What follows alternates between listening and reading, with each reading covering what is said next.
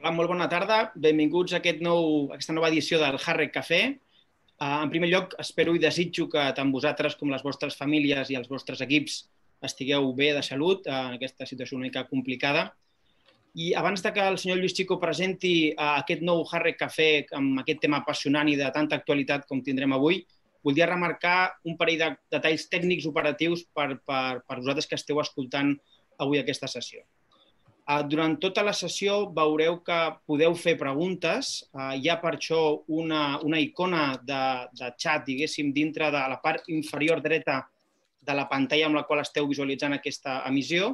Si cliqueu aquesta icona, s'us obrirà un, un, una opció de xat. Vosaltres podeu escriure preguntes en qualsevol cas i um, jo rebré aquestes preguntes, ningú més podrà veure aquestes preguntes, jo les rebré, jo les aniré ordenant per ordre de, de sol·licitud i durant el període final en el que farem preguntes, jo aniré donant pas a cadascuna d'aquestes preguntes i els hi faré a cadascun dels ponents.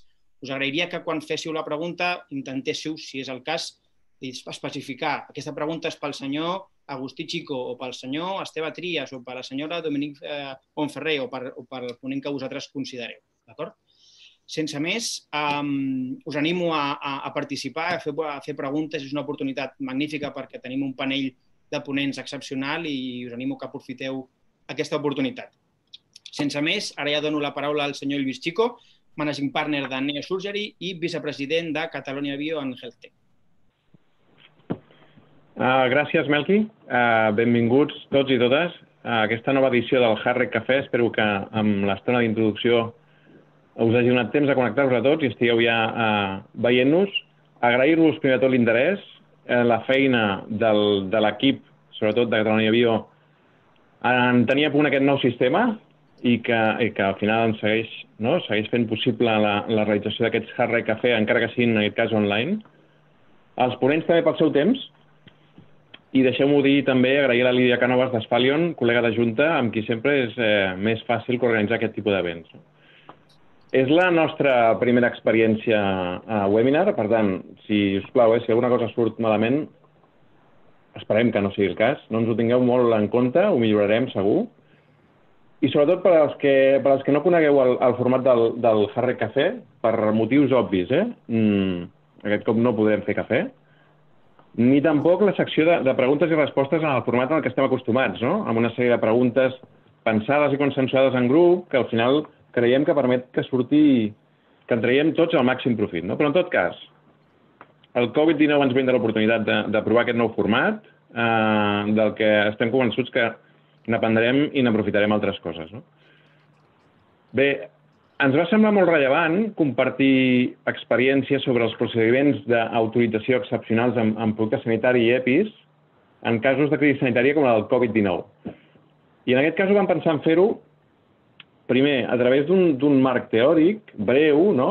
eh, i d'aquí la ponència que ens farà la, la Dominique Montferrer d'Espalion, i segon, eh, reforçant-ho a través de dues experiències que ens consta, ens consta eh, que van ser molt intenses per part de l'ITAT i Eurecat. Comptàvem també eh, amb tenir el punt de vista de l'autoritzador, o d'un dels autoritzadors, en aquest cas l'EMS, però ahir a la tarda, malauradament, l'EMS ens va cancel·lar la seva participació per motius d'agenda de, de la senyora Carmen Ruiz Villar i el seu equip. En fi, deixant-nos molt poc temps de reacció, eh, però esperem que així la resta de ponents tindran més temps per aprofundir al final en, en la seva experiència justament amb l'EMS, no? que crec que és, com a mínim, en un dels casos. No? Més enllà del, del cas particular del, del Covid-19, eh, ens va semblar també rellevant parlar-ne d'aquestes experiències de cara a mirar d'entendre, debatre, no sé, intuir, si, si aquests procediments d'excepció són útils també en, en d'altres situacions que es podrien donar en un futur, no? Sembla evident que si com a sector eh, ho entenem, estem preparats, Hosti, doncs podrem ajudar a evitar la sempre frustrant paradoxa de que malgrat tinguis la tecnologia a punt, disponible, el necessari, eh? però a vegades massa complex entorn regulatori fa que, fa que es donin situacions com que la gent perdi la vida o que es compliqui molt l'atenció sanitària. No? Jo no em vull allargar més en la, en la introducció um, i en la benvinguda. Uh, tots teniu el programa, uh, sabeu com funciona, són, són 15 minuts uh, de presentació cadascun, més una secció de preguntes i respostes. I, i diria que no em deixo res. No, abans, abans de donar pas als, als ponents, eh, sí que ens agradaria anunciar-vos eh, que estem preparant més Harrec Cafès. Eh, el proper sobre la moratòria de la Medical Device Regulation, el proper 3 de juny, per tant, apunteu data, on ja tenim confirmats, mm, diríem que, home, alguns ponents d'un cert nivell i ONs que ens han confirmat el seu interès en, en venir, no? com, com són Tufsud, el Basilacra, SGS i alguns d'altres, no? Per tant, apunteu-vos la del 3 de juny perquè pot ser molt interessant, on parlarem de la moratòria de... que serà efectiva, o ja ho és de fet, eh? en... i per tant un any més de coll perquè la Medical Device Regulation entri, entri en joc. Uh, sobretot, per acabar, no? malgrat hem fet aquest canvi de format inevitable no? uh, de les preguntes i respostes, i malgrat no les puguem fer en grup aquesta vegada, us animem a que en penseu, que ens envieu preguntes a través del xat, com deia el Melqui, que ens envieu dubtes, perquè mm, bueno, pensem que al final és la via segurament eh, que ens permet fer la discussió no? i l'aprenentatge més ric. No? Jo eh, diria que res més, mm, novament donar-vos les gràcies no? i donar pas a la, a la primera ponent, a la Dominique Montferrer. La Dominique Montferrer és eh, Scientific and Regulatory Affairs Associate Director d'Asphalion. Ella és eh, doctora en Biologia Estructural per la Universitat de Barcelona, i és experta, com és obvi, en afers regulatoris eh, de medical device, eh, dia diagnòstic i aspectes CMC de medicaments, especialment en els, en els nous marcs legals que, que s'han promogut des de la Unió Europea, MDR i UVDR. A més a més, ella també ofereix assessorament científic i estratègic en el marc europeu, però, però no només, sinó també en el marc eh, americà, FDA, a través d'això, de l'assessorament amb medical device in vitro diagnòstic complex i innovador. Res més, endavant Dominic, i esperem que, que us sigui interessant. Gràcies. Moltes gràcies, Lluís. Passo compartir la presentació. Bona tarda a tothom i, i molt contents per part d'Asphalion de, de fer aquesta primera sessió, que serà molt breu i que, i que com introduïa el Lluís, el que pretén és eh, definir una mica el que és eh, el marc d'aquests procediments excepcionals que s'han estat doncs, activant des de, des de mitjans de març aproximadament. I doncs farem aquesta revisió per tal de centrar una mica potser el que seria la discussió d'aquest webinar d'avui eh, i d'alguna manera nosaltres no aportem informació nova o, o, o diguéssim, eh, molt lligada a, a projectes o, sí, concrets, sinó més aviat de tipus teòric, però que esperem que sigui d'utilitat per ajudar a tothom a navegar per aquest entramat tan complex de, de noves normatives. Mm, com, per primer, bueno, com a com a punt inicial, una miqueta una revisió del que han estat els antecedents i, i com, com tots sabem, els primers casos de, de pneumonia de SARS-CoV-2 es van donar eh, a finals de, de l'any passat. Eh, sembla o va semblar que el primer cas a Europa es detectava i es registrava a finals de gener, ara se sap que possiblement fos també durant el mes de desembre. A Espanya es registra el primer cas a les Illes Canàries a finals de gener i eh, a partir d'aquí doncs, ja entrant el, el, el Covid-19 amb, amb força, especialment a Itàlia, com és sabut, a Europa doncs, es comencen a activar una sèrie de mesures. D'aquestes mesures n'hi ha hagut de, de diferents uh, àmbits, uh, tant a nivell d'inversió, en projectes de, de, finançats per la Comissió Europea, com en d'altres um, àmbits i, sobretot, eh, volem destacar una fita important que és el 13 de març, la publicació d'una recomanació de la Comissió Europea en què s'estableixen unes línies principals d'actuació o recomanacions eh, per, tant pel que fa a facilitar la comercialització d'equips de, de protecció individual, productes sanitaris, Um, I sí, principalment centrat en aquests dos tipus de producte, que com veurem no han estat els dos únics tipus de, de producte o les úniques dues categories de producte uh, que han donat lloc a nous procediments d'excepció. Aleshores, uh, aquesta fita el que fa és recomanar que es prioritzi uh, el que són equips de protecció individual i productes sanitaris de primera necessitat en temps de Covid i, per tant, aquestes prioritzacions són tant uh, pels organismes notificats, que han de prioritzar-los en, els, en els seus um, procediments d'avaluació, com també pel que fa a les autoritats sanitàries eh, que són instades a també definir nous procediments de, de comercialització excepcional i, per tant, facilitar que realment eh, puguin arribar a la població i al, als professionals sanitaris d'una manera doncs, uh, urgent.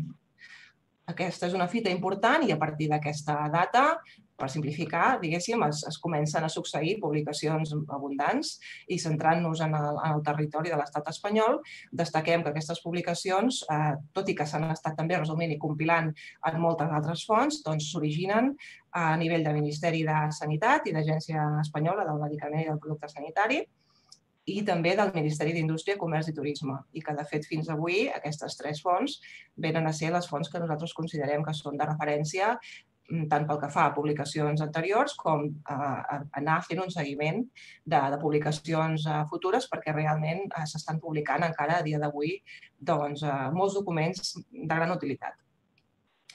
I també per continuar amb aquesta introducció, destacar, per qui no ho tingui clar, doncs que sobretot mm, parlant de producte sanitari i equips de protecció individual, una mica la, la manera de distingir la, la, la modalitat producte sanitari de la modalitat EPI en cas que siguin eh, productes d'un tipus o d'un altre, perquè també s'ha de dir que hi ha productes que compleixen amb les dues categories, el punt de vista seria que el producte sanitari, en aquest context, doncs, eh, seria aquell producte que eh, s'ha destinat a protegir el pacient de les, de les possibles infeccions que provinguessin de, de personal sanitari, mentre que, com la seva paraula indica, un equip de protecció individual està destinat a protegir qui l'està duent en aquell moment i en aquest cas doncs, estaria eh, destinat a protegir el, el professional sanitari.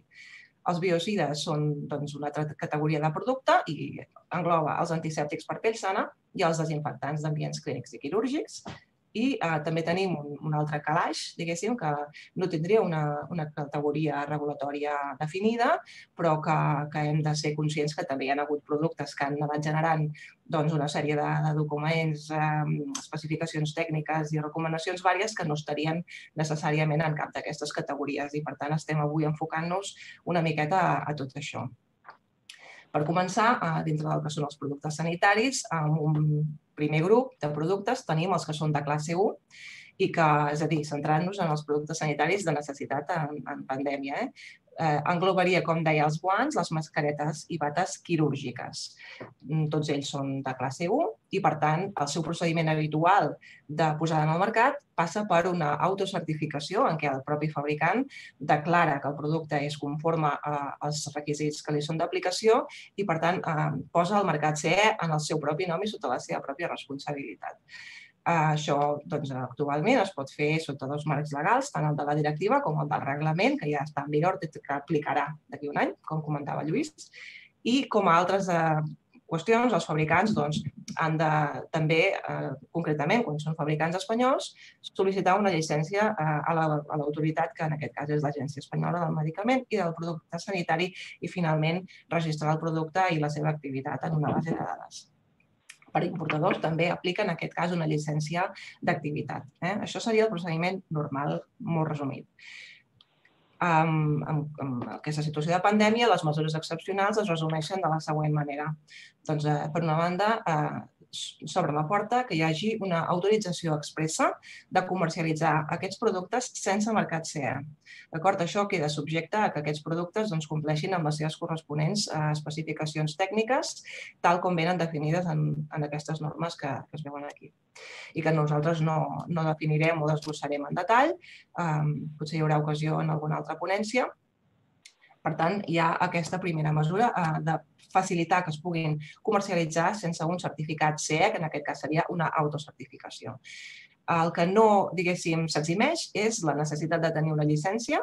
Per tant, els fabricants que vulguin responsabilitzar-se de la comercialització d'aquests productes han de seguir sol·licitant una llicència, que en aquest cas es facilita mitjançant un procediment també eh, express o d'urgència en què la llicència doncs, eh, primer és temporal, té una durada de quatre mesos, no està subjecte a pagament de tasses i es prioritza, per tant es gestiona de manera prioritària i també facilitant que realment la documentació que s'ha d'aportar no seria de, de l'ordre de, del que s'aportaria habitualment per una sol·licitud de llicència.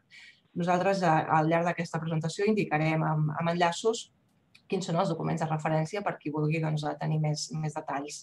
I per importadors doncs, també es facilita, com, com s'indica més avall, eh? és a dir, es faciliten aquestes llicències, però per altra banda s'exigeix, òbviament, que els productes compleixin.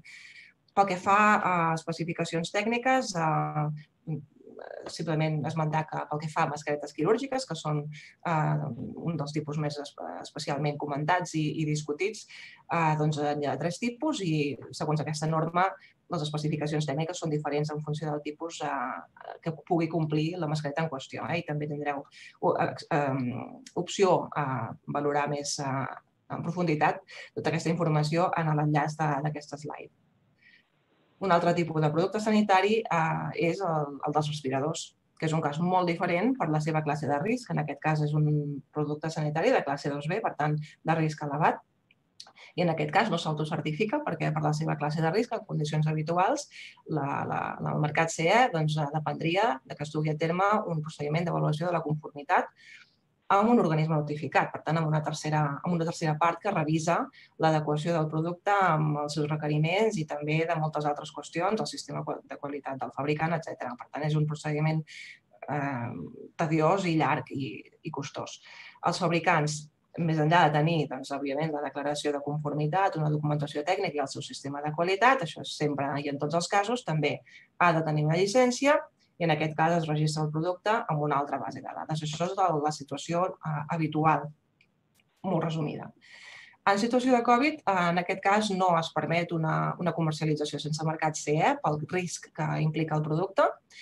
Evidentment està, eh, diguéssim, sostenint la vida no, dels pacients. Per tant, en aquest cas, l'agència ha, ha optat per, diguéssim, establir que com en qualsevol altre cas, es permet el seu ús en el context d'una investigació clínica. Això en si no és excepcional.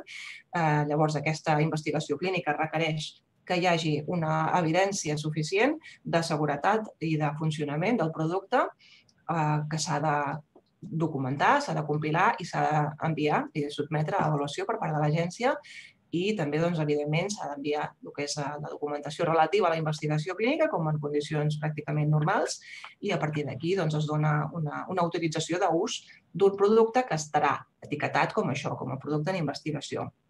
Aquest procediment en concret no és novedor, seria més aviat el procediment habitual d'utilitzar uh, productes en el context d'investigacions clíniques. Sí que s'està prioritzant la gestió de totes aquestes sol·licituds per la mateixa qüestió de la recomanació que comentàvem abans. Per tant, en tot cas, aquí la mesura excepcional doncs, podria ser aquesta excepcionalitat de prioritzar aquestes sol·licituds per sobre d'altres sol·licituds i eventualment doncs, que s'ha estat proporcionant un nivell de detall pel que fa a la documentació que s'ha de uh, compilar, que en condicions normals doncs, no està disponible tan fàcilment. Pel que fa als respiradors, sí que voldríem, no volíem deixar d'esmentar eh, que hi ha hagut moltíssima publicació d'informació rellevant i d'utilitat i eh, nosaltres considerem que aquests quatre referents són realment els documents rellevants. En aquest cas destaquem, òbviament, el punt de partida, que és eh, la OMS, també aquesta associació americana eh, sobre tractament de malalties respiratòries, que estableixen doncs, els paràmetres de tractament i de gestió de pacients amb Covid, entre altres també el tema de l'assistència respiratòria. I més aviat en la part tècnica, aquest document de l'agència anglesa, MHRA, i eh, no volíem deixar d'esmentar aquest document molt, molt útil, molt ben eh, compilat d'Aquas, en què realment hi ha tota la informació eh, que qualsevol projecte necessita eh, tenir per, per, per poder dur-lo a un port. Els uh, productes uh, de protecció individual uh, es distingeixen en categories i en aquest cas doncs, que són guants, roba de protecció i altres equips de protecció ocular són o de categories 3 o 2 i en qualsevol cas requereixen ser certificats per un organisme notificat. Les normes tècniques, com veieu aquí, són aquestes i els fabricants en aquest cas han de declarar també la conformitat dels productes i tenir la documentació tècnica a punt. Les mesures excepcionals es resumeixen d'aquesta manera. Uh, pels EPIs el que s'ha establert és que es defineixen tres supòsits en què, per una banda, es permet doncs, que les, uh, les, les administracions puguin adquirir uh, EPIs sense mercat CE, sempre i quan aquests es destinin a ús professional i, òbviament, es pugui demostrar que compleixen els requeriments de, de, de protecció necessaris. La segona mesura seria que s'autoritza temporalment el producte, no necessàriament sota adquisició pública, mm -hmm. sempre i quan aquests productes hagin ja iniciat un procés de certificació. I aquest, eh, les autoritzacions temporals sempre tenen la seva corresponent vigència limitada i en aquest cas és fins al 30 de setembre d'aquest any. I per últim també doncs, es permet que hi hagi un mercat d'aquests productes en base a normes que no siguin les harmonitzades i que en aquest cas són les que veieu aquí. Per tant, s'amplia eh, el que seria el llistat de normes eh, acceptades. Una mica de comparativa eh, que em saltaré perquè si no no acabaré la, la diapositiva, la, la presentació de temps, eh, però que crec que podeu, podreu tenir accés a les presentacions posteriorment perquè pugui tenir interès. En un altre, en un altre tipus d'EPIs tenim les mascaretes de protecció, no confondre-les amb les mascaretes quirúrgiques. És en aquest cas un EPI de classe 3 i categoria 3 i, per tant, eh, com dèiem també, subjecte a certificació CE per part de l'organisme notificat i, eh, novament, el fabricant doncs, ha de tenir la declaració i la documentació tècnica. Um, D'una manera molt similar als altres EPIs, tres supòsits exactament els mateixos i, en aquest cas, l'ampliació d'acceptació d'altres normes tècniques és la que, la que veieu aquí. Eh? La, la que es manté, òbviament, és l'harmonitzada en negre i les altres són les addicionalment acceptades en aquesta situació de pandèmia. Novament, una comparativa eh, d'equivalències i eh, passaríem a parlar dels biocides, que englobaria, per una banda, eh, el que serien productes eh, que requereixen una, una autorització val? i que el que, fa, el que es fa en aquest cas doncs, és simplificar aquestes autoritzacions. La simplificació passaria doncs, a, per a, tres requeriments. És a dir, es facilitarà una autorització de comercialització, fabricació i comercialització de productes antisèptics per pell sana, sempre i quan el que ho sol·licita doncs, tingui una fabricació d'instal·lacions amb la seva corresponent llicència, que estiguin destinats a ús hospitalari i que, evidentment, es pugui doncs, aportar documentació acreditativa de la seguretat d'aquests mateixos productes. I aquí ah, també l'enllaç al seu corresponent document explicatiu. Hi ha una altra mesura d'excepcionalitat, que és, ah, és a dir, el que serien els gels i solucions hidroalcohòliques que no complirien necessàriament amb aquesta, amb aquesta definició de producte antisèptic per pell sana, i que, per tant, no necessàriament hauria passat per, tota la, per totes les validacions, eh, però que sí que ha de eh, garantir un, una mínima, eh, òbviament, doncs, eficàcia i per tant, ha de tenir un mínim contingut d'alcohol del 70%, eh, doncs s'obre la, la possibilitat de que empreses d'altres sectors, com serien destileries i, i altres eh, eh, diguéssim, empreses, puguin fabricar aquests productes a partir d'alcohol etílic i de bioetanol, per tant, de fonts eh, diferents a les habituals. I també eh, limitat o, o restringit a, una, a un compliment d'especificacions tècniques, que són les que veieu aquí. I eh, amb la seva corresponent ordre, eh, en aquest cas.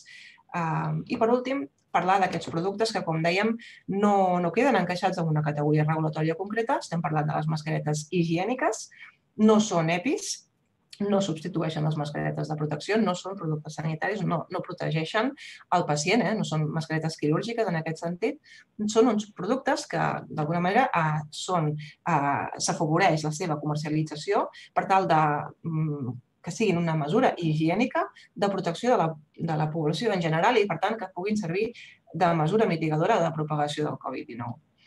Eh, no requereixen, per tant, cap autorització expressa de les autoritats, perquè no tenen una categoria regulatòria específica. Sí que se'ls requereix que no estiguin fabricats amb materials irritants ni amb efectes adversos coneguts i també eh, es requereix doncs, que, que, es fa, que es duguin a terme uns, o es recomana que es duguin a terme uns assajos en base a unes normes tècniques, que són les que veieu aquí a sota, i que seran diferents en funció de si la mascareta higiènica és d'un sol ús o, o de diversos usos, pot ser reutilitzable o d'un sol ús, en quin cas, si és uh, reutilitzable, doncs uh, hi ha un mínim, s'estableix un mínim en una d'aquestes normes, que és que, doncs, uh, com a mínim, es pugui garantir fins a cinc rentades sense perdre la seva efectivitat, eh, i que si té més, eh, diguéssim, cicles de rentat que aquest mínim de 5, doncs s'estableixi el, el tope, no? que seria el màxim número de rentats fins que la mascareta perd la seva efectivitat.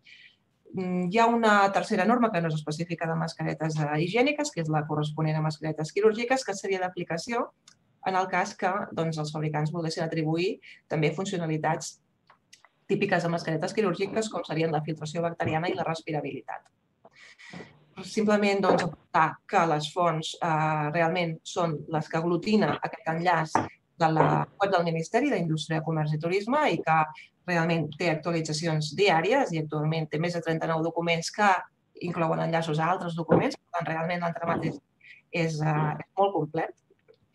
I també l'altra font rellevant seria l'Agència Espanyola del Medicament i dels Productes Sanitaris, que no ha estat tan, diguéssim, activa en la generació de documentació, però que també, eh, diguéssim, inclou tot el que és rellevant a efectes de normativa per producte sanitari i biocides, en aquest cas. I, per últim, destacar que la, aquesta web de la, de la Comissió Europea doncs, eh, porta el que serien els enllaços per poder-se descarregar les normes tècniques harmonitzades que, que fan referència a gran part d'aquests productes, no a tots, i que han quedat doncs, des de l'inici de, de la pandèmia obertes de, a, a qualsevol que les pugui necessitar. Eh, normalment són de pagament i, per tant, doncs, és una altra mesura destinada a facilitar tota aquesta, tota aquesta qüestió i aquesta activitat. I fins aquí la nostra, la nostra presentació. Si hi ha més eh, preguntes, doncs eh, les podem discutir al final. Moltes gràcies.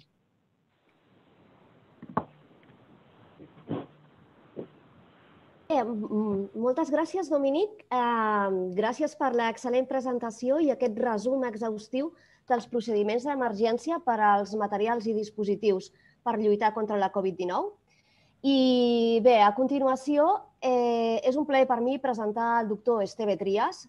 El doctor Trias és el director de la plataforma Leitat Medical el doctor Trias és doctor en Medicina amb més de 20 anys, de, 20 anys d'experiència en el camp de les substàncies d'origen humà i el 2010 va crear la unitat de teràpies avançades de l'Hospital Clínic, de la qual ara eh, actualment és el seu director, i aquesta posició la combina amb la gestió de la plataforma d'innovació en salut a l'EITAT. El doctor Trias és també membre del CAT, del Comitè de Teràpies Avançades de uh, l'Agència uh, Europea del Medicament i secretari de l'Associació Europea de Bancs d'Ulls. Bé, eh, sense més, eh, doctor Trias, eh, moltes gràcies, benvingut i eh, li donem pas. Moltes gràcies eh, per la presentació. Eh, bueno, i gràcies per la invitació, per aquest Hard Cafè. La idea avui és compartir l'experiència que hem tingut a l'EITAT per l'aprovació amb aquest fast track d'un respirador d'emergències i una mica les experiències que hem tingut, tant des del punt de vista tècnic com des del punt de vista regulatori. No? L'EITAT és una plataforma tecnològica que té diferents seus i té diferents àrees de coneixement, la enginyeria, l'economia circular, la salut, eh, està activa des del, 2000, des del 1906 però ara ens hem trobat amb el repte d'haver de posar una solució global en un temps molt curt. No? Llavors, eh, la idea era generar un respirador que fos eh, aprovat per l'Agència del Medicament dintre d'aquest context que ha explicat la Dominic d'estudi clínic i que fos industrialment escalable. I, i alhora eh, que fos segur, no? evidentment, com qualsevol cosa que hem d'utilitzar amb mans. Per això hem creat aquest consorci que veieu aquí, entre el Consorci de la Zona Franca, HP, l'EITAT, el, el CatSalut, que ha sigut el promotor del projecte amb nosaltres, utilitzant, en principi, la idea era utilitzar tot el coneixement i la tecnologia 3D que teníem al nostre abast, però després hem hagut de sumar-hi moltes altres tecnologies, com veieu en aquest esquelet, no? des de la part mecànica, no? que és un embú mecanitzat, un sistema simple, amb el que ventilem un malalt manualment, amb unes mans i un engranatge impresos en 3D, i tot un PC, un PC amb tota la part d'electrònica, el hardware, el software, el, el firmware, amb el que monitoritzàvem, més tots els sensors i totes les peces amb què podíem donar. Clar, això havia de ser funcional, havia de ser segur, havia de ser fiable i alhora totes les solucions dels encaixos del tal, doncs, la, la impressió 3D ens ha anat donant les respostes de com poder anar responent. Clar, quan plantegem un, un nou procés, doncs normalment aquest és el pathway, no? que seria doncs, identificar la necessitat, la necessitat clínica, perquè ho volem, identificar-ho molt clarament, el desenvolupament del concepte i la selecció i després el desenvolupament del prototip, amb la primera part de R&D, la part d'anàlisis de risc, de la part regulatòria, els controls de qualitat, de seguretat, d'efectivitat i de satisfacció, anar fent les millores en el prototip fins que arribem a la, al llançament del producte, no? des de la necessitat clínica, com veieu en la part vertical, el desenvolupament del concepte, la fase d'implementació i arribaria a la fase de llançament tot això doncs, hi hauria la fase de validació clínica i l'autorització, en aquest cas, per part de l'EMS. Clar, això, aquest procés, com a mínim, doncs, serien tres mesos, més sis mesos, més de tres a sis mesos. Normalment triguem un any, un any i mig. Clar, això ho hem fet en tres setmanes. Clar, això és una barbaritat des del punt de vista regulatori i des del punt de vista tècnic. No? Era aquell punt d'en quin punt li deies a la gent que parés, que prou, no? a l'enginyer que no busqués una millora més, el clínic que no demanés una prestació més. I quin era aquell equilibri entre la prestació, la millora i l'equip amb, aquest, eh, amb aquesta experiència tan nova no? que hem tingut en una situació com la del Covid.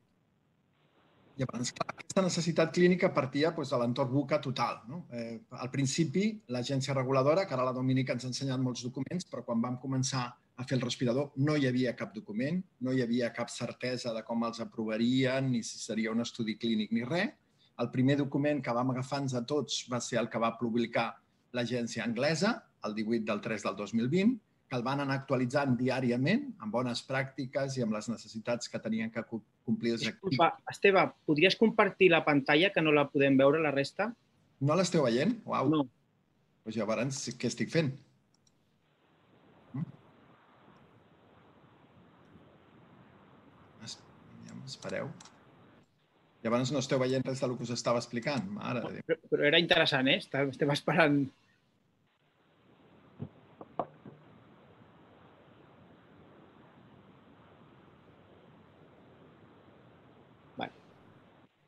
poses pantalla completa. Ara veiem... Sí, però aquesta no és la meva. Ara, eh, aquesta és la de Brocat. Aviam. La veieu ara? No. No? Aviam, tornem-hi.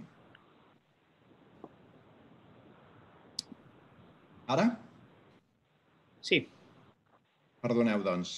Eh, doncs si em permeteu, Ah, vaya desastre. Vaig un enrere només per ensenyar-vos el que us explicava del Pathway. L'altre ja ho veurem més endavant, però crec que aquesta un minut enrere.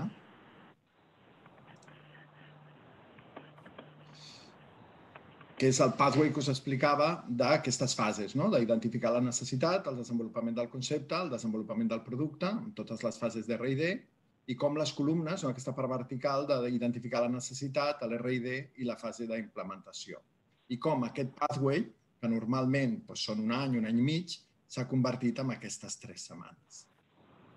Això aquí us explicava que aquest entorn buca, no, totalment d'incertesa, al principi l'Agència Espanyola del Medicament no havia eh, llançat cap regulació ni dit com ho hauríem de fer. L'únic que teníem és la regulació estàndard del medical device, que semblava absolutament impossible no? per aquesta autorització accelerada.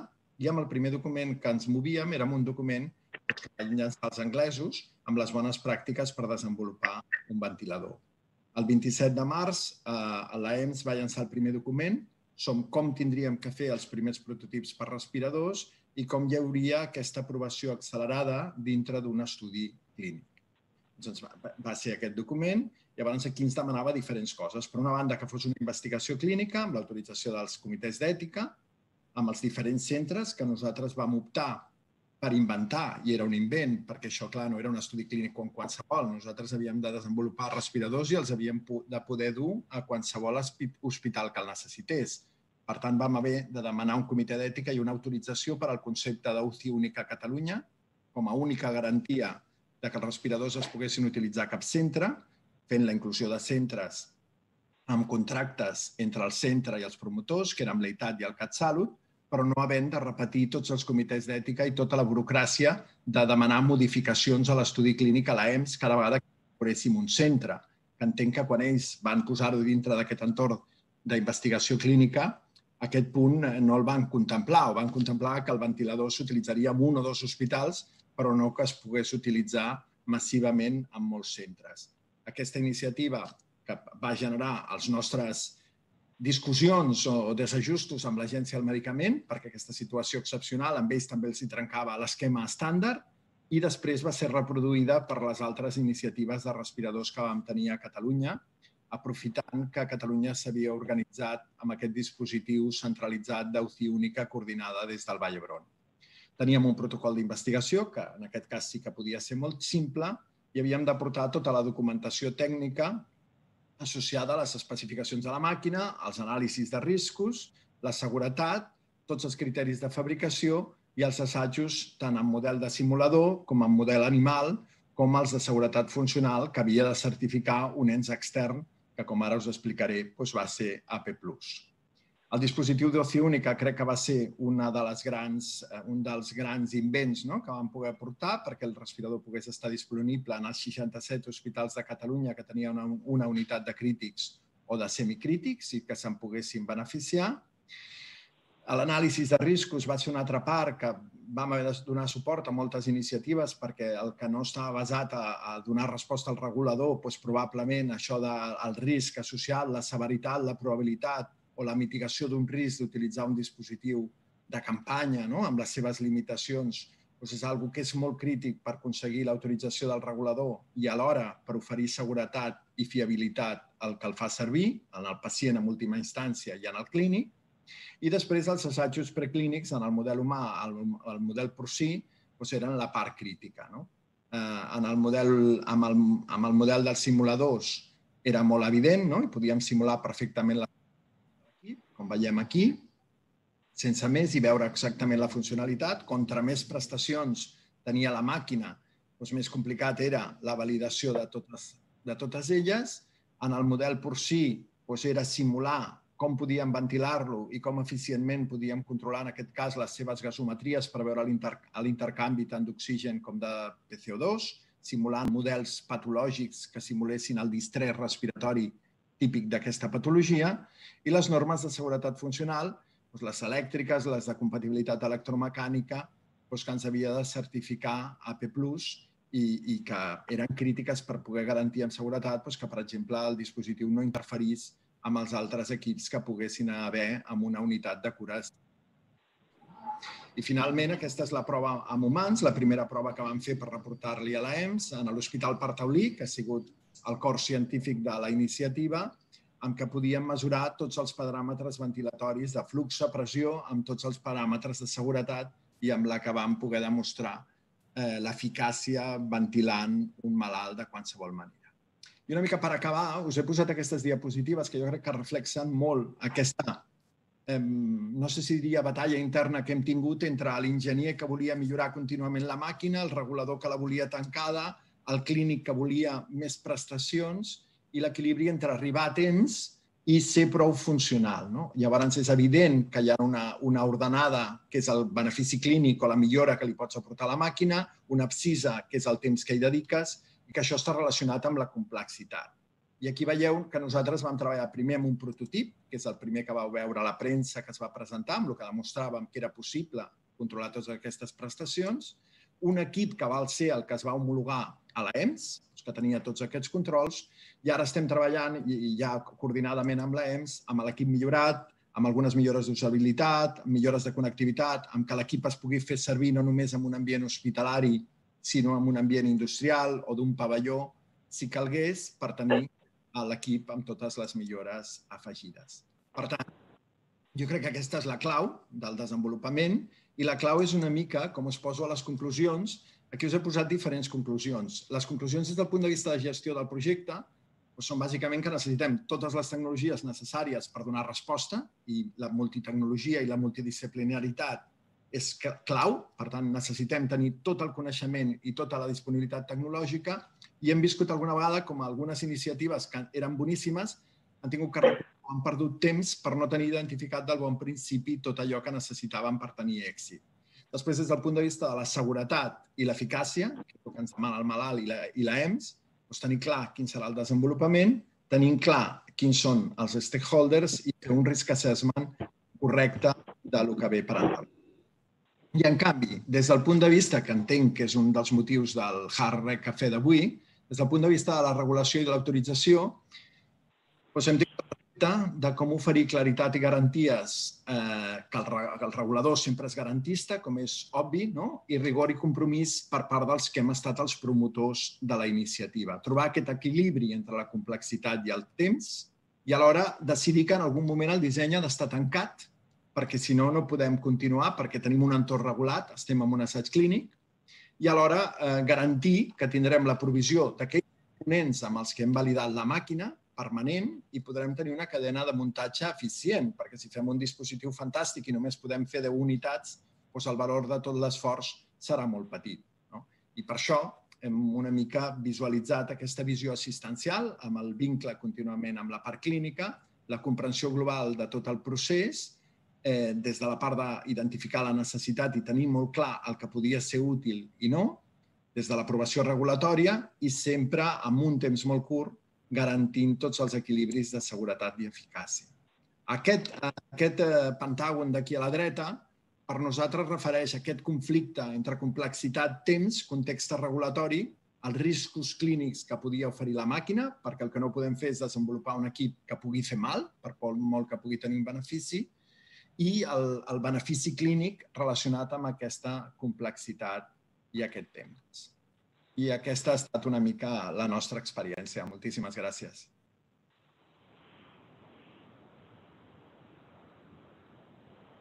Gràcies, doctor Trias, per aquesta excel·lent presentació d'aquest projecte increïble i per explicar-nos com han arribat a, a tenir el respirador eh, autoritzat i en, en l'assaig clínic en les condicions eh, d'emergència eh, que eh, hem viscut.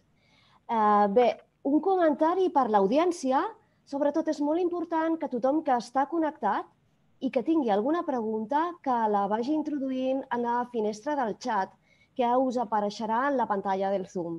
I tal com ha dit el Melqui, doncs després, eh, quan passem a la eh, tanda, a la ronda de preguntes, doncs eh, intentarem considerar-ho tot. Bé, i dit això, doncs eh, mm, és un plaer presentar el senyor Agustí Chico. Eh, L'Agustí és director dels laboratoris de suport d'Eurecat, és enginyer industrial per l'UPC, també amb més de 20 anys d'experiència en direcció i gestió de projectes de recerca, desenvolupament i innovació en els àmbits de dissenys, materials, processos, sistemes intel·ligents i energia per a empreses privades, agències eh, estatals i regionals. I actualment coordina diferents iniciatives i projectes d'Eurecat eh, per lluitar contra la Covid-19, entre les quals hi ha, per exemple, els assajos d'un material com les mascaretes. I eh, bé, eh, Agustí, eh, quan vulguis tens la paraula. Molt bé, moltes gràcies. Eh, primer de tot, agrair-vos doncs, la invitació al Hard Rock Café. Eh, la veritat és que està, està sent molt interessant i espero que, que la meva presentació també, també ho sigui. Uh, breument, jo només volia fer una menció d'un minutet, si em permeteu, eh, de, de, per la gent que no conegui Eurecat, després una visió general d'algunes iniciatives que hem portat a, a terme uh, amb el Covid-19 i ja em centraré més en la presentació de, de l'experiència que hem fet sobre assajos de materials filtrants uh, de cara a a la protecció i revisió de normatives al respecte. Eh? Enllaçaré bastant tots amb la presentació que havia fet abans la, la Dominic. Bé, per qui no es conegui, Eurecat és el centre tecnològic que, que ara ja tenim 5 anys de vida com a Eurecat, però que és la unió de diferents centres tecnològics a Catalunya i que doncs, eh, bueno, en diferents disciplines i diferents àmbits eh, el que intenta és ajudar empreses a identificar noves oportunitats i, i a, fer, a portar a terme projectes d'innovació i de recerca aplicada de a la creació de productes, serveis, processos, eh, etc. Eh, ubicats, com us dic, al llarg de tot el territori de Catalunya, però també en altres ubicacions geogràfiques a l'Estat i, i inclús al món. Doncs actualment som al voltant d'unes 650 persones, i doncs, estem treballant eh, doncs, amb 1.600 empreses actualment eh, clients nostres, eh, facturant 50 milions d'euros i amb una activitat eh, del 50% de la nostra activitat centrada a, a el que seria pimes, eh? encara que participem en, en grans projectes europeus, eh, dels quals doncs, hi ha 60 en marxa, 15 liderats per nosaltres i altres projectes de, de, de, de finançament que no, no prové d'Europa. Eurecat actualment doncs, tindria eh, aquestes àrees multitecnològiques, tindria una àrea industrial centrada més en materials i processos, una àrea digital doncs, més centrada en temes de sensòrica o tecnologia de dades, intel·ligència artificial, una àrea biotecnològica, temes de nutrició i salut, ciències òmiques, i després una part de sostenibilitat doncs, en temes d'aigua, sols, aire, energia, residus, impacte ambiental, bateries, etc. Això fa que tot aquest coneixement multitecnològic doncs, eh, puguem oferir diferents eh, projectes i basant-nos en el que ha sigut eh, les experiències i iniciatives que hem engegat com a Covid-19, només fer-nos menció doncs, que també hem participat en algun projecte de respirador, en aquest cas amb la gent de Coebetec i, i Nissan i l'Hospital de Sant Pau, eh, amb temes de, del programa Orfeu de la Generalitat de Catalunya amb el privat massiu de la població mitjançant eh, anàlisis de PCRs que fem a Eurecat Reus, amb temes també d'un estudi massiu eh, de, de característiques sanguínies de persones per estudiar la immunopatologia dels pacients eh, i buscar biomarcadors de pronòstic de, de la malaltia. O amb temes, per exemple, doncs, de posar en marxa assajos també eh, per testejar l'eficàcia de mètodes de desinfecció de, de material de protecció o, per exemple, doncs, posant també en marxa totes les impressores 3D de la casa, que són moltes, eh, de cara a fer diferents productes que, en aquest cas, eh, requerien eh, els hospitals. O, per altra banda, doncs, posar en marxa una plataforma de monitorització que ja teníem desenvolupada per pacients eh, que es diu Ekenco, de cara a supervisar 20-30 pacients de salut mental eh, juntament amb el parc sanitari de l'Hospital de Sant Joan de Déu. I encara que hi ha altres iniciatives, eh, per últim podríem dir, doncs, juntament també amb el World Capital, la Generalitat de Catalunya, la previsió de futures pandèmies, evolució de transmissió i propagació del, del contagi mitjançant analítica de dades, eh, de, de mobilitat, de dades clíniques, de dades meteorològiques, o un projecte que també estic coordinant jo mateix, que seria doncs, el desenvolupament d'una mascareta de protecció eh, que ha sigut la unió de diferents iniciatives eh, que també van engegar fa unes sis setmanes eh, de cara a desenvolupar això, una mascareta fabricada i, dissenyada aquí a Catalunya amb la participació de, de múltiples entitats. Però jo el, el que tractava, el que voldria explicar-vos avui és, és el que fa referència a l'experiència que hem tingut com a Eurecat amb, amb els assajos que conjuntament amb Plus i, i, el, i el grup de l'IDEA del CSIC doncs, a finals de març i, i um, veient doncs, una miqueta la necessitat que tenien les empreses, eh, sobretot del, del sector tèxtil, que volien eh, aportar el seu granet de sorra de cara a ajudar i fer front a la pandèmia, etc. doncs eh, vam posar en marxa un servei d'assaig i validació de l'eficàcia i nivell d'adequació de materials filtrants o, o materials tèxtils. Eh? Ho vam fer sobretot amb la intenció això d'ajudar aquelles empreses a veure si aquell material que tenien entre les mans doncs, podia ser un material després apte doncs, per fer mascaretes quirúrgiques, mascaretes higièniques o mascaretes de tipus EPI. I en aquest sentit ens vam centrar sobretot eh, agafant de, en base a les normatives existents per aquest tipus de mascaretes, centrant-nos sobretot en l'assaig de respirabilitat o pressió diferencial, que en aquest cas el portava a terme a P+, o l'assaig de filtració de partícules de 300 nanòmetres, que ho feia el grup de l'IDEA, o nosaltres fent l'assaig de neteja microbiana a Eurecat Reus. Um, bueno, això va ser una primera fase i posteriorment a aquesta fase eh, podríem dir que hem, jo crec que hem quasi bueno, hem, hem estudiat o ens ha arribat quasi 200 referències diferents de, de materials eh, i eh, en alguns casos doncs, hem, pogut donar, hem pogut donar sortida a, a projectes eh, doncs, que, que poguessin doncs, sortir, sortir a mercat i, i d'altres que malauradament s'han quedat al camí o que ens hem trobat amb experiències doncs, que d'alguns assajos realitzats algú que s'estava pensant fer una mascareta quirúrgica doncs, ha acabat tenint material tèxtil doncs, per, per, per, per, mascareta higiènica. Eh? D'ençà de llavors, doncs, podríem dir que eh, Eurecat, juntament amb A+, segueix fent aquests assajos eh, per l'autocertificació que abans parlava el Dominic, amb diferents tipus de mascareta i ens estem centrant en el que seria mascaretes quirúrgiques, eh, les mascaretes higièniques i higièniques reutilitzables, eh? on, com es comentava abans, doncs, eh, són assajos necessaris per, per, perquè aquest fabricant pugui tenir o pugui autocertificar-se. A mode de resum, podríem dir que les normatives que actualment doncs, hi han relacionades amb el món de les mascaretes i en funció de la seva categoria, doncs tindríem aquelles eh, normatives que fan referència més a les mascaretes de protecció a partícules, eh, unes que poden tenir filtres desmuntables eh, i que regulen doncs, per la, sota la normativa, o els assajos regulen sota la normativa eh, la 140 i la, la 143.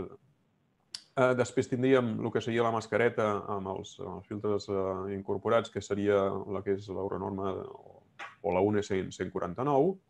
I després hi hauria aquestes dues primeres, podríem dir així, que protegeixen, com deia abans el Dominic, eh, de, de, de fora cap endins, eh, protegeix a la persona que, que les porta.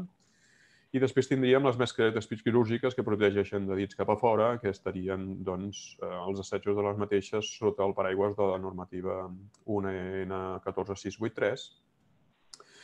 I, per altra banda, tindríem doncs, eh, mascaretes duals, que crec que són de cara a la situació en què ens trobem de pandèmia del Covid, serien les més adequades, que estarien protegint no només de dintre cap a fora, sinó de fora cap a dintre i serien les mascaretes aquestes que, que anomenem doncs, duals i que doncs, també es basen en la, per una banda, el 14683 de mascaretes higièniques, ai, perdó, quirúrgiques, i la 149 de, de, de, de mascaretes eh, contra partícules.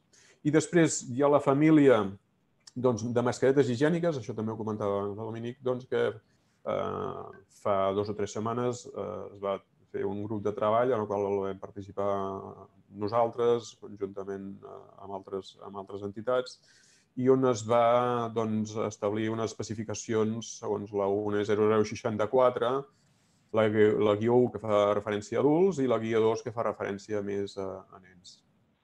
I la 0065 que serien per mascaretes higièniques reutilitzables, aquestes que també s'ha mencionat abans que són rentables.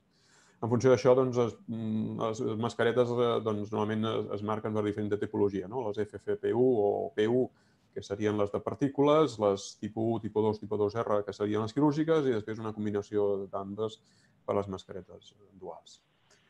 I ara em centraré una miqueta en, en comentar els assajos eh, que, que fan referència a les diferents eh, normatives i en aquest sentit, si ens centrem en la normativa de mascaretes quirúrgiques, la 14683, doncs eh, principalment els requisits i mètodes d'assaig i, o el resum del requisit de, funcionament serien aquests que es poden veure aquí a la, a presentació.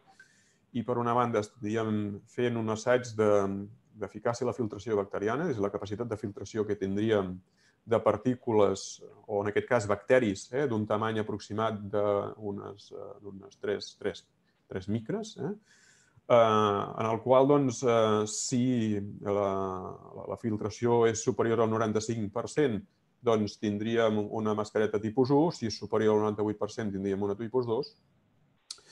I eh, en realitat el paràmetre de filtració va eh, en equilibri amb el paràmetre de pressió diferencial o respirabilitat, que és el que et permet de, de, de respirar de forma correcta la mascareta. I això és un altre assaig que també es fa doncs, i que està eh, marcat per la 14683 i el que es fa és veure la pressió diferencial doncs, de portar o no, aquí veieu també una mica unes fotos del, del, del sistema que, que hem emprat per, per fer els assajos, i el que demana la normativa és que estiguem per sota de 40, tinguem una caiguda de pressió de, de sota de 40 pascals centímetre quadrat a les tipus 1 i tipus 2, i la tipus 2R, que estaria per sota de, de 60. La tipus 2R seria una mascareta similar a, a la tipus 2, però en aquest sentit eh, que protegeix els professionals sanitaris eh, contra esquitxades de fluids eh, potencialment contaminats. Uh, i, I aquesta tipus 2R requereix també d'un assaig addicional, que seria aquest de la pressió de resistència a les salpicadures o a les esquitxades, en el qual el paràmetre ha de ser per sobre de 16 quilopascals.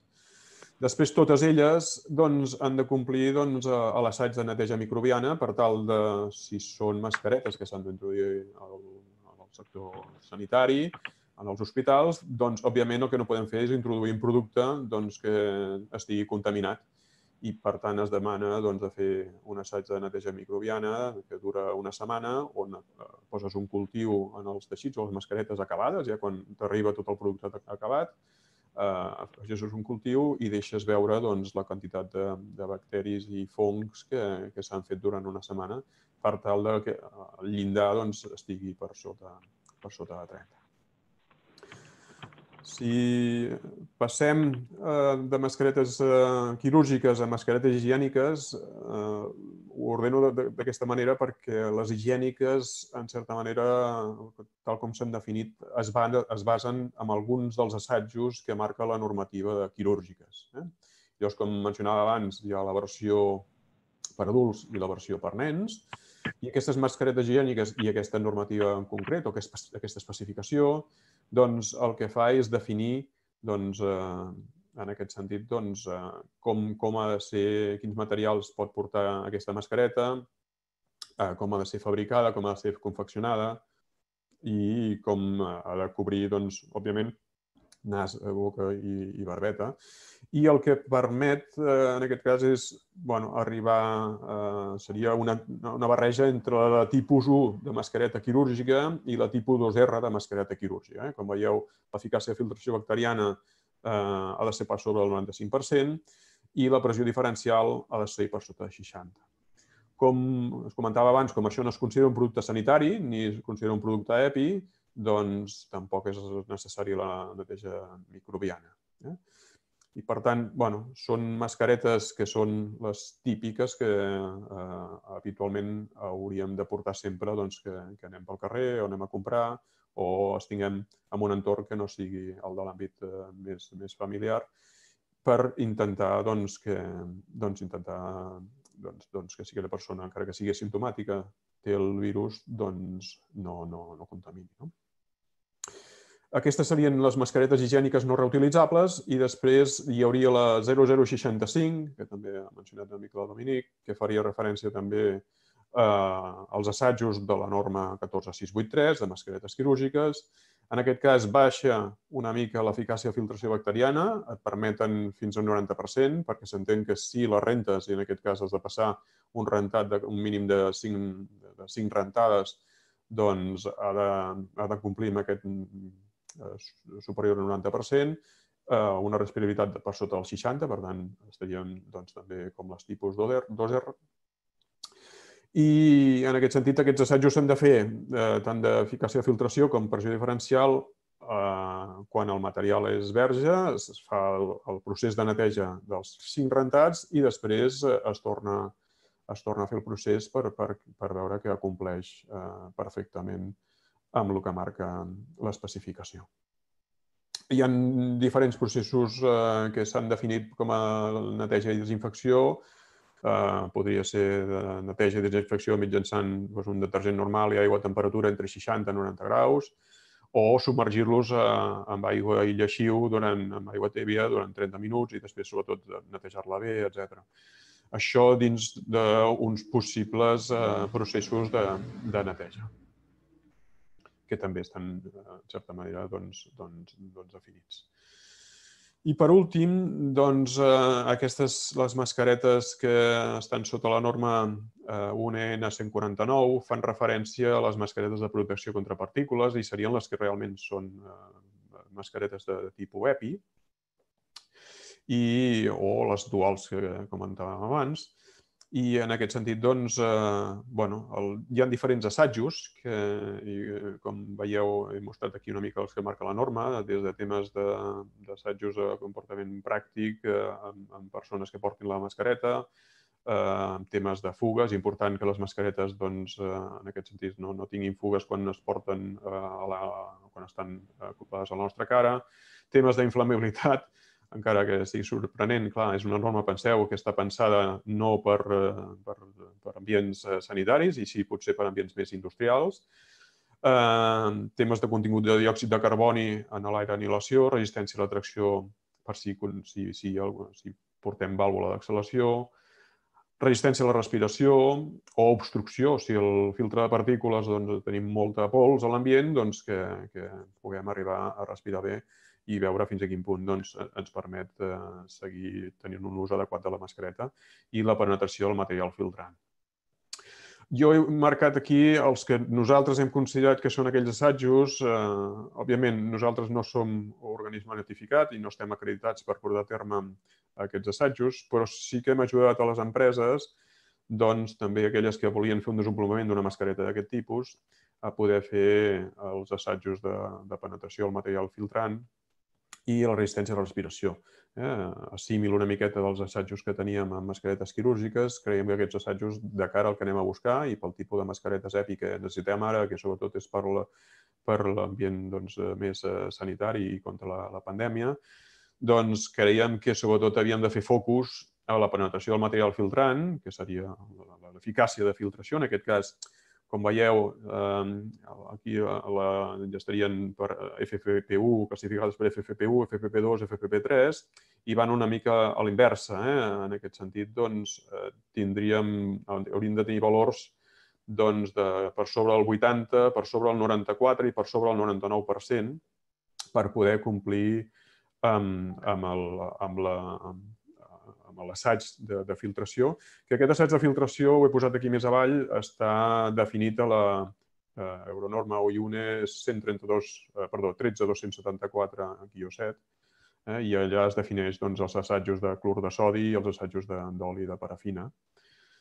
I, i a diferència de les mascaretes quirúrgiques, podríem dir que aquí les partícules són d'un ordre de magnitud inferior. Si abans dèiem que a mascaretes quirúrgiques el que es anava a buscar és filtració de bacteris de l'ordre d'unes 3 micres, aquí el que es va buscar són filtració de partícules d'uns 300 nanòmetres de 0,3 micres. Per tant, és molt més sever a l'assaig de filtració d'aquestes mascaretes versus les mascaretes quirúrgiques òbviament perquè estan protegint de fora cap endins. D'acord?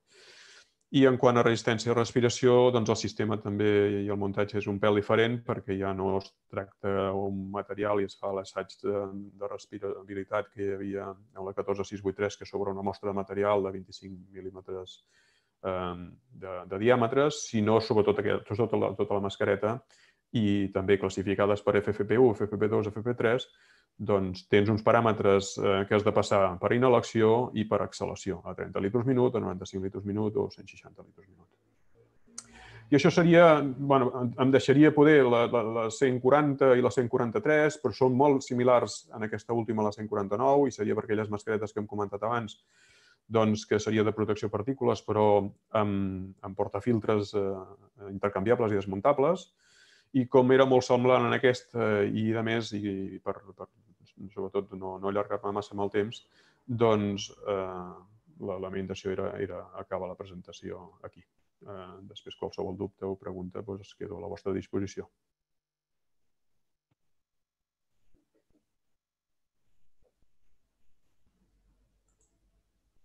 Perfecte, moltíssimes gràcies, eh, Agustí. Uh, bueno, gràcies als tres ponents, han sigut tres ponències magnífiques. Agraïm que us hagueu ajustat el temps que teníeu per intervindre. Um, passem ara al torn de preguntes i d'entrada vull agrair que hem tingut bastantes preguntes en el xat, que ara anirem donant pas a cadascuna d'elles uh, i començarem amb la Dominique. Uh, faig la pregunta en castellà perquè la, la persona que ho ha formulat ho ha formulat en castellà. Diu, nosotros tenemos el presupuesto para la certificación extraordinaria como EPI y tiene un coste bastante importante. No es gratuito o no sujeto a tasa, como he escuchado no es a través de la agencia del medicamento, sino a través de industria, puesto que es un EPI. Hablo de una mascarilla 3D, que por otra parte nos han tenido que modificar hasta tres veces la norma sobre la que tenían que basarse los ensayos. Yo no sé si, Dominic, pots aclarar una miqueta aquest punt. Sí, bueno, aquí lo único que comentaría es que, bueno, la certificación como tal no, no puede ser extraordinaria. Si hay un presupuesto de certificación, es eh, posiblemente un proceso de certificación normal, porque para los EPIs, como he comentado antes, lo que se ha facilitado, digamos, son tres supuestos en que los EPIs o bien no están certificados todavía, pero se permite su comercialización en base a un cumplimiento de especificación técnica, o bien se adquieren sin marcado CE por, por administraciones públicas para uso hospitalario, o bien se uh, permite un marcado CE, digamos, en base a otras normas que no sean las armonizadas. Pero no obstante, si en el tercer supuesto se, se certifica CE, el EPI eh, no, no, es una certificación extraordinaria. No sé si se refiere a este tercer y último supuesto. En cuanto a costes, los organismos notificados, bueno, pues tienen sus, sus tarifas y sí que puede haber variabilidad y, pues, eh, claro, en este sentido, pues posiblemente ah, hubiera opción a preguntar a otros organismos notificados, pero no, no está regulado el precio de una certificación ni para EPIs ni para productos sanitarios realmente. Y, bueno, y no, no, sé, no sé, la pregunta, aparte, eh, Melky, si puedes repetir o no sé si he dejado de comentar algún punto relevante del... del... Yo creo que lo has contestado bien. al final creo que la persona estaba preocupada por el tema de que eh, había, se había comentado que era sin coste y ellos, para ellos sí que había hay unas tasas. Eh, claro, exacto, este es el punto. Pues no, no, no, no nos, a nosotros no, pues no nos consta que las certificaciones sean sin coste. Em, no, una certificación tendrá su coste correspondiente, siempre. Perfecte. Gràcies, Dominic. Esperem haver contestat la pregunta. A continuació tenim una altra pregunta per l'Esteve Trias. Uh, diu el següent. Jo tinc curiositat per saber com de dialogants van ser a l'agència pels temes tècnics del respirador, si van ser flexibles i col·laboradors per assistir a completar la documentació o resoldre deficiències durant la fase de validació tècnica, abans de sol·licitar autorització per la investigació clínica. Esteve? Tot teu. Eh, jo diria que, aviam, podem dir que van ser dialogants, el que passa és que una vegada van llançar el document orientatiu del que s'havia de fer, entre cometes, eh, l'agència sempre ens diu que ells no són uns consultors, no? I jo crec que aquí es van mantenir en aquest punt de que ells no són una consultoria, simplement ens van indicar eh, quines eren les fases que havíem de complir, perquè algunes no estaven prou clares, i llavors, amb la documentació tècnica, el que van fer és iteracions. És a dir, tu subministraves la documentació tècnica i et deien doncs, que alguns punts s'havien de, de millorar o entrar en més detall. El que passa és que sí que és veritat que el que sí que va ser un diàleg excel·lent va ser la disponibilitat a una resposta molt ràpida i a un feedback molt ràpid respecte a les coses que s'havien de millorar o que s'havia d'avançar. No? Fins i tot amb els assajos externs que havíem de realitzar a P+. Clar, les coses que els hi trencaven els esquemes, com l'UCI única, aquí la conversa doncs, era més intensa i més seguida. No sé si contesto la pregunta. Perfecte. Uh, gràcies, Esteve. Uh, si no queda alguna cosa clara, sabeu que en el xat podeu seguir preguntant. A continuació tenim una altra pregunta per l'Agustí Xicó i diu el següent, uh, explico en castellà. Según el órgano notificador español, nos indica que la mascarilla que usted identifica más a la izquierda en la diapositiva está sujeta a normativa EN 1827 de mascarillas con filtros desmontables. Indico esta norma porque no es ninguna de las identificadas en su slide, donde aparecía la EN 140 y la EN 143. Si bien no dudo que probablemente la norma EN 1827 debe contemplar o incluir otras normes. Agustí. Sí, sí, té tota la raó i segurament ha sigut un descuit meu no afegir també la norma N1827 per aquest tipus de mascaretes. Eh? El que passa que la diferència que hi ha s'hauria d'afegir no només la 1827, sinó també la 140-143, perquè en funció del tipus de mascareta podem anar a parar una o una altra i les diferències són, són relativament lleus. Eh? En realitat podríem dir que són una mica de la mateixa família, totes elles, la 149, la 143, la 140 i la 1827 que, que es menciona i que jo m'he deixat de, de, de posar a la, a la presentació, correcte. Perfecte. Veiem que, doncs, que els, els assistents esteu molt atents a tot el que anem dient. I, i en saben molt, pel que veig en saben, saben molt. molt. Una altra pregunta per la Dominic. Diu, es poden comercialitzar aquests respiradors encara que no tinguin el marcatge CE? Dominic. No, no, no es poden comercialitzar. No es poden comercialitzar, és a dir, de fet, és, aquesta és una de les diferències més, més importants en, en, en tot el que s'ha plantejat. No? El procediment excepcional pels respiradors no és un altre que facilitar una, una autorització, diguéssim, express i prioritzada d'investigacions clíniques eh, que d'altra manera doncs, en si no és un procediment excepcional, per tant és el que menys procediments d'excepció té el respirador per la seva classe de risc i per tant tampoc seria lògic que es pogués comercialitzar sense mercat CE. La resposta és que no. Perfecte. Gràcies, Dominic. Tenim una altra pregunta per l'Esteve. Diu, creu que ara que estem en una altra fase fora del pic, els projectes de respirador en curs puguin trobar més obstacles? Aviam, eh, de, de fet, eh, de fet hem, hem presentat una esmena a l'estudi de l'Agència Espanyola del Medicament per les millores que us he plantejat en la presentació i el temps de resposta és més tranquil, no? per dir-ho d'alguna manera. Jo no crec que la resposta siguin obstacles, o sigui, jo crec que obstacles no. Jo crec que, com diu la Dominic, i si em permets que torni una mica la pregunta d'abans, tots esperàvem un procediment excepcional i, en canvi, hem fet aquest procediment d'investigació clínica que no és tan excepcional. Llavors, això eh, retarda una mica l'avaluació perquè no li dona aquest component d'excepcionalitat i entenc que és basat en el risc que té de tractar els malalts amb aquest respirador Llavors, aquí el que hi ha és una mica més de relaxació perquè l'Agència del Medicament ens va arribar a explicar que tenia 100 expedients pendents de revisió al mateix temps i tots amb la premura del temps. Per tant, jo crec que ara eh, van donant-hi resposta àgil, però no tan immediata com quan rebíem resposta en menys de 24 hores. No? Perfecte.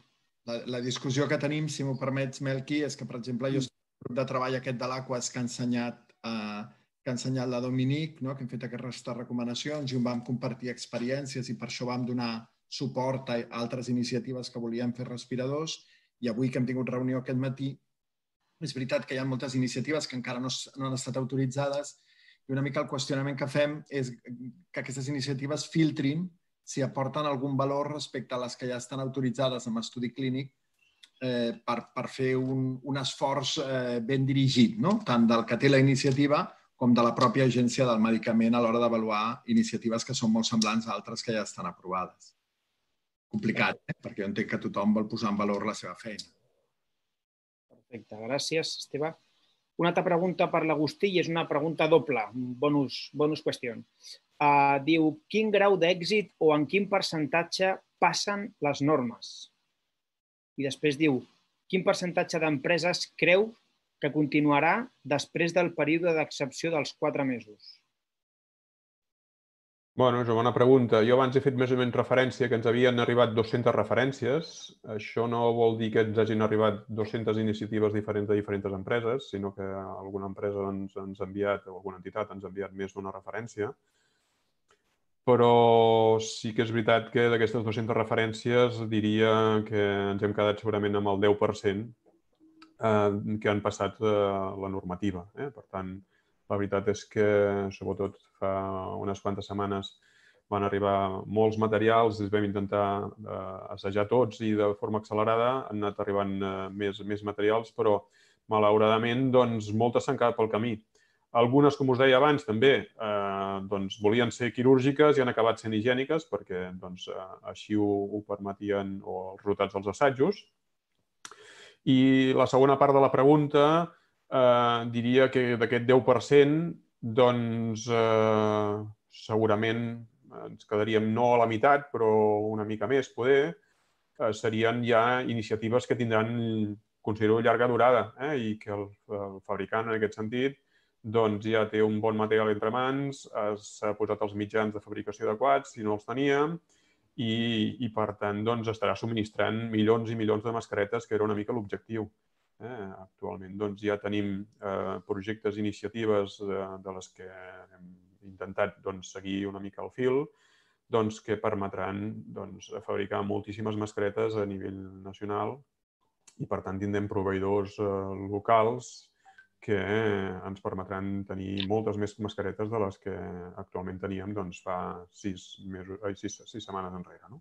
Per tant, considero que l'objectiu, almenys per part nostra, l'objectiu d'intentar ajudar les empreses i que algunes d'elles arribessin al final eh, s'ha complert, no potser amb el volum que esperàvem doncs, de, de, de número, però sí que sí, solament unes, unes 10 iniciatives considero que, que sí que arribaran fins al final de les que ens han arribat a nosaltres. Òbviament, eh, hi ha altres laboratoris a, a l'Estat i, i altres laboratoris que, que els han arribat altres iniciatives. Per tant, bueno, si nosaltres ens han arribat 10 que arribaran fins al final, doncs és possible que, altres, uh, altres, uh, altres laboratoris doncs, també tinguin més o menys percentatges, per tant jo crec que potser estarem parlant de 20-30 iniciatives empresarials que seran més de, més de mitja llarga, mig llarga termini per, per subministrar aquest material. Que ens agradi o no, em sembla que, sobretot fet referència més a les higièniques ara, doncs l'haurem de portar durant un temps. Eh?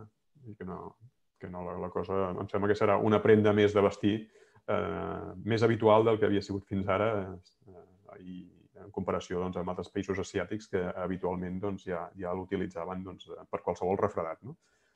Aquí ara mateix no estem parlant d'un refredat el que tenim entre mans, però sí que les mascaretes, com a mínim les higièniques, crec que eh, ens, eh, serà un, serà una altra prenda de vestir habitual, malauradament. Perfecte. Gràcies, Agustí. Uh, una altra pregunta per la Dominic. Diu, voldria saber si en el marc de la Covid-19 seria acceptable distribuir a Espanya productes sanitaris in vitro diagnòstic amb l'etiquetat en anglès i xinès, no en espanyol. Uh, la qüestió de l'idioma, eh, en principi, en aquest cas, doncs, es podria valorar si el fet de que aquests eh, productes estiguin destinats a un ús professional podria, diguéssim, permetre que, que dels dos idiomes, l'anglès, òbviament, seria suficientment comprensible pel professional sanitari.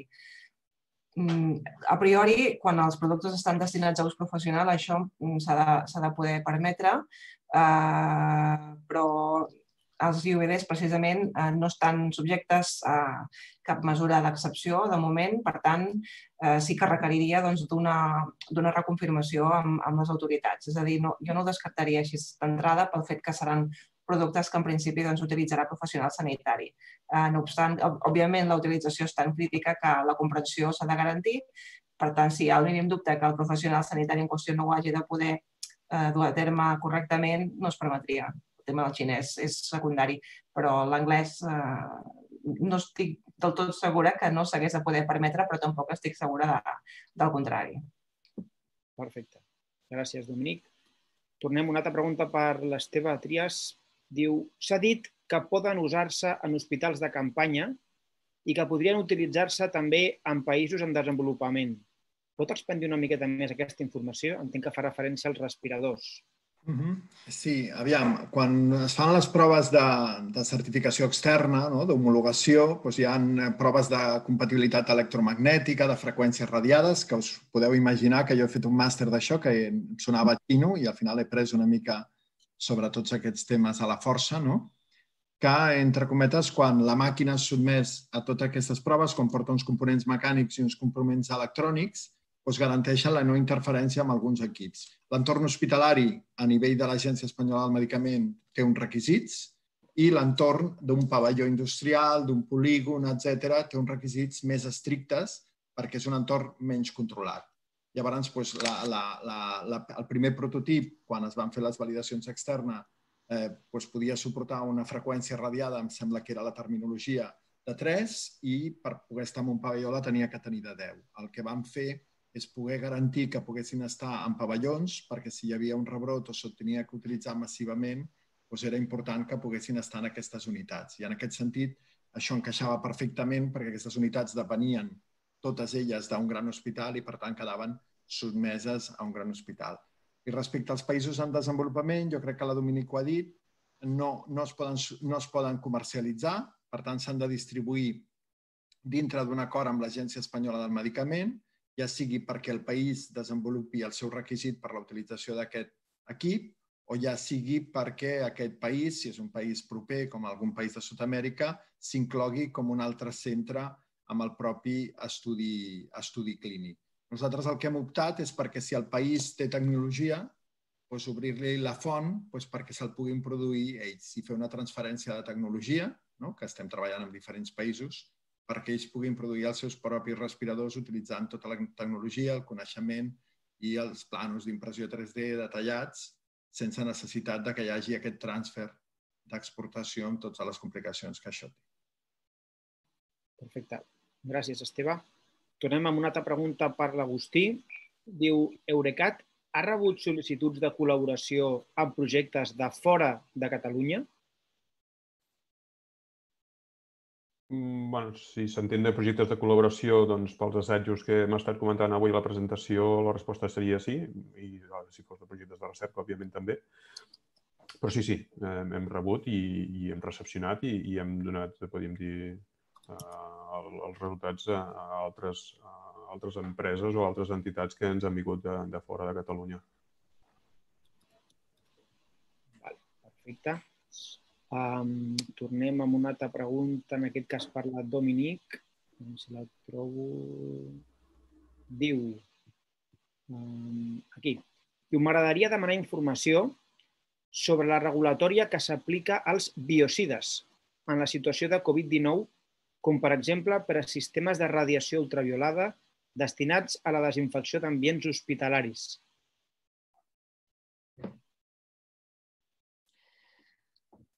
Val, a veure, uh, per una banda, el que serien equipaments esterilitzadors per llum ultraviolada que es destinin a, a desinfectar mm, material, entenent per material producte sanitari, tenen la consideració de producte sanitari també.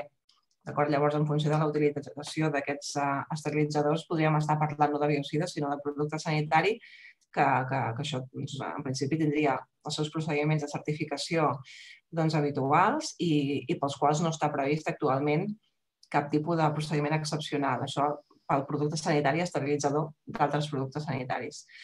Per, uh, per una utilització més d'ambient, uh, en principi um, no tinc clar que tingui categoria de biocida. Els biocides com a, com a solucions, com a formulacions de desinfecció de pell sana o d'ambients, en aquest cas, doncs, com he comentat, sí que tenen uh, una mica de, de procediment excepcional, però concretament els biocides típicament eh, entesos com a formulacions doncs, de, de solucions alcohòliques eh, i, per tant, amb aquesta altra utilització no, no coneixem i no hem, no hem identificat en aquestes fonts, que són les úniques, de fet, cap tipus de procediment excepcional. En aquest cas, doncs, per tant, s'hauria de dur a terme el procediment que correspongués per la seva homologació com un producte o un altre. Perfecte, gràcies, Dominic. Tenim una altra pregunta per l'Esteve. Uh, a veure si la puc dir correcta perquè la informació és molt, molt, molt, molt, molt curta. Diu, el, el, si pot explicar una miqueta més el concepte de UCI única que s'havia utilitzat anteriorment i com va ser, com va ser acceptat aquest, aquest, aquesta entitat per l'agència. La, per Quantes UCIs d'aquest estil van participar? Mm. El, el, la, la pregunta és interessant perquè l'agència al principi, evidentment, eh, això no complia el seu estàndard d'estudi clínic. No? Com deia la Dominic, en els respiradors es va fer un estudi clínic i no es va fer un procediment excepcional. Per tant, es plantejava que es fes un estudi d'investigació amb un centre que hagués passat al comitè d'ètica d'aquell centre i que aquell centre fos el que reclutés els malalts. Però el plantejament que vam fer des de l'EITAT, que treballàvem amb el CatSalut, és que estàvem desenvolupant un respirador per poder-lo distribuir a qualsevol centre de Catalunya que calgués. I una mica amb l'anàlisi la, del Pathway, el, aquest concepte que ens passaven moltes altres iniciatives que els enginyers o les empreses que tenien iniciatives treballaven, buscaven un centre de referència que els donava recolzament tècnic i llavors aprovaven en aquell centre a l'ús del respirador, no ens servia. Llavors, eh, se'ns va ocórrer que com Catalunya s'havia dotat d'un dispositiu de coordinació centralitzat liderat per al doctor Ricard Ferrer, que és el cap de la UCI del Vall d'Hebron, com a UCI única, tot i que el nostre projecte havia sorgit del Parc Taulí i amb el lideratge del doctor Lluís Blanc, eh, que tothom, el doctor Lluís Blanc va ser prou generós com per compartir aquest lideratge amb, amb el doctor Ferrer i presentar-li a l'Agència del Medicament que el nostre projecte es desenvoluparia amb un únic comitè d'ètica, que era el del Parc Taulí, i fent-ho possible en els 45 centres que formaven part del dispositiu d'UCI única, que el dispositiu l'havia creat el CatSalut al començar la crisi, és simplement en què aquests centres s'agregarien a l'estudi mitjançant un contracte amb els promotors, que eren el CatSalut i l'EITAT, i amb, un, amb una assegurança única. D'altra manera, hagués representat que cada vegada que haguéssim volgut portar el respirador a un nou centre, s'hagués hagut de fer tots els tràmits del comitè d'ètica del centre específic individualitzadament i s'hagués hagut de demanar una esmena a l'Agència Espanyola del Medicament, incloent el nou centre en l'estudi. Per tant, hagués sigut molt complexa de gestionar. L'agència, evidentment, al principi van dir no ho entenem, això ens trenca els esquemes, Aquí vam utilitzar la força no? de dir que qui havia dotat aquest sistema era el govern de Catalunya, que al final és qui organitzava el sistema sanitari, i, entre cometes, argumentant tots els contractes i els mecanismes de seguretat que afegiríem, doncs finalment va ser acceptat i quan es van anar aprovant les altres iniciatives vam haver d'anar-les reconduint i fent una esmena per utilitzar el mateix dispositiu perquè si no tenien la limitació que només podien ser utilitzades en el centre que havia autoritzat l'ús del dispositiu inicialment. Gràcies. Una altra pregunta, i se'ns està acabant el temps. Uh, hi ha encara algunes preguntes més, però no sé si ens donarà temps a fer-les totes. De moment seguim. Per l'Agustí, diu, heu fet alguna acció relacionada amb nasal swaps o swaps? Doncs eh, jo diria que no. Jo diria que no. no. Com us deia abans, hem obert diferents iniciatives, però no totes elles... Eh, però jo diria que no, no em sona que haguem portat cap eh, al respecte d'aquest producte. Vale. Tampoc no, no, no sabia que, que hi havia una necessitat, eh? almenys no m'havia arribat que hi hagués una necessitat concreta de, de fabricació dels nasal swaps, eh? però, però... Si aquí sorgeix alguna oportunitat de col·laboració, doncs... Eh, sí, sí, si hi ha alguna cosa doncs, a tractar, doncs eh, ens ho facin saber i mirem, mirem de com, com podem abordar-ho. Perfecte. Gràcies, Agustí. Una pregunta que potser no és, no és molt tècnica, és potser més d'opinió personal. ¿no? no sé si Dominic t'atreveixes a contestar, però diu ¿Creen realmente que las mascarillas tradicionales son una solución viable desde un punto de vista de sostenibilidad del planeta?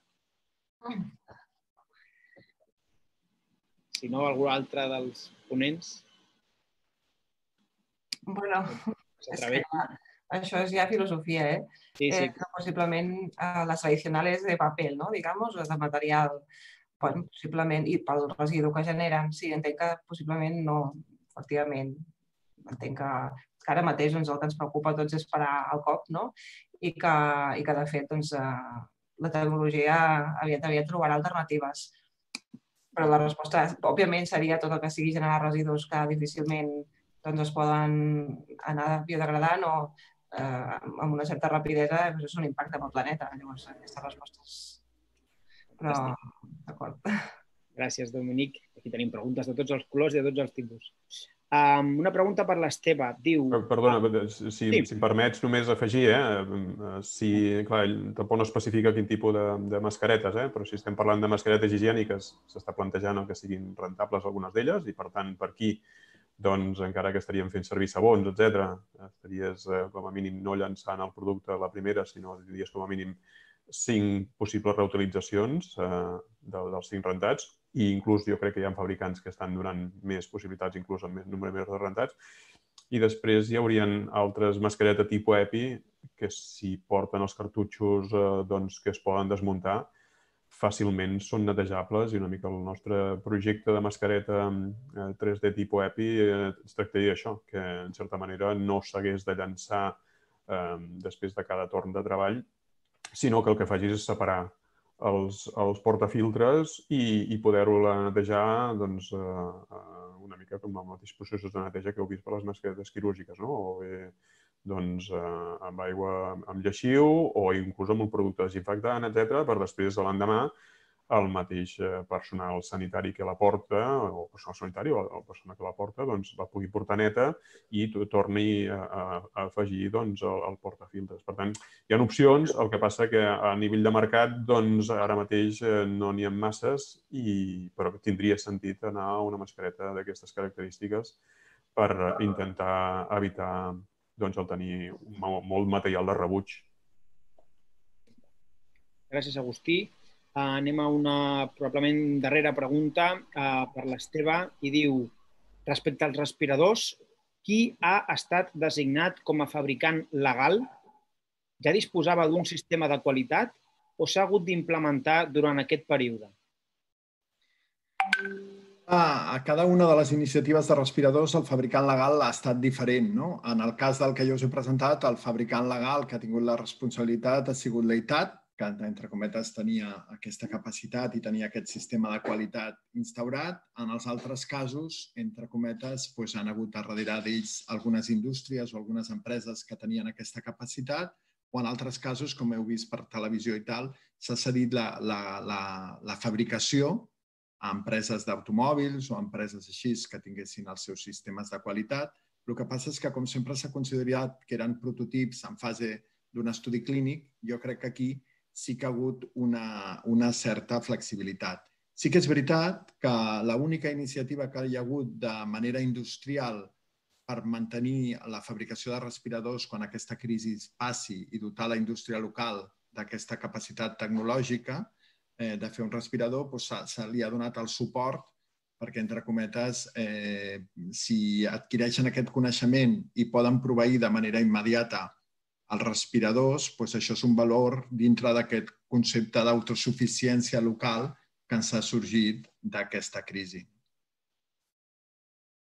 Perfecte. Doncs, bueno, moltíssimes gràcies a tots, um, tant als ponents pel vostre esforç i, i disponibilitat per fer aquest Harry Café.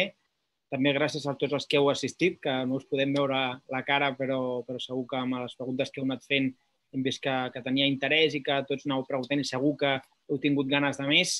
I com comentava el Lluís, doncs, eh, el dia 3 de juny tindrem la propera sessió de Harry Café. En aquest cas parlarem d'aquest aplaçament o pròrroga d'un any de l'entrada en vigor de la, del, del MDR. I res més, espero veure-us uh, tots molt aviat, uh, amb ganes de poder passar el confinament i passar a modo presencial per poder-nos veure les cares i en, encara enfortir més el networking que, que habitualment podem fer. I una última cosa abans de donar pas a la Lídia perquè tanqui és que uh, dintre, esperem entre aquesta tarda o demà, enviar-vos una petita enquesta molt breu de satisfacció perquè ens avalueu una miqueta com, com, heu, com, com ha anat aquest Harry Café sobretot tenint en compte que era la primera vegada que, que fèiem servir aquesta plataforma virtual, que crec que ha anat molt bé, però sempre el vostre feedback eh, ens ajuda molt a millorar. Moltíssimes gràcies i ja passo a la Lídia. Moltes gràcies, Melqui. Uh, bé, uh, jo faig un petit resum del que hem dit, uh, molt breument, o sigui, uh, concluïm que de l'exposició de la Dominic, les diferents autoritats eh, responsables han publicat un número de normes d'excepció eh, per eh, ajudar a combatre eh, aquesta crisi sanitària. Algunes han sigut, eh, per dir-ho així, les, eh, a nivell de les esperades, com eh, l'ús sense mercat CE d'alguns eh, medical device en situació d'excepció mentre duri aquesta, eh, com eh, materials o productes sanitaris de classe 1 i alguns EPIs, i també les flexibilitzacions de les llicències de fabricants eh, de modo temporal. Altres, altres materials o altres dispositius, l'excepció ha sigut menor potser de l'esperada, però també potser lògica per al seu risc, com ha sigut eh, per als respiradors, que s'han quedat amb la possibilitat de ser utilitzats en el marc d'un uh, assaig clínic. I això és en el um, que fa referència als procediments d'excepció. Després de l'experiència i de l'exposició del doctor Trias en quant a l'experiència del respirador de l'EITAT, a veure, queda molt clar que la combinació d'esforços i un equip multidisciplinar i de les idees innovadores i disruptives com aquesta de la UCI única són imprescindibles per situacions excepcionals. I també destacar eh, el feedback molt ràpid de, que ha assenyalat el doctor Trias de eh, l'Agència Espanyola del Medicament per avaluar les sol·licituds en les, en les diferents rondes de revisions, eh, perquè, i, i també queda clar que ha mencionat en algun moment que tenia més de 100 sol·licituds, eh, el qual és destacable. També destacar la generositat de la iniciativa de l'EITAT per deixar oberts els dissenys i les dades per ser utilitzats en territoris que això, doncs, eh, eh, en, en països emergents o altres territoris que necessitin utilitzar aquest tipus de eh, respiradors d'emergència.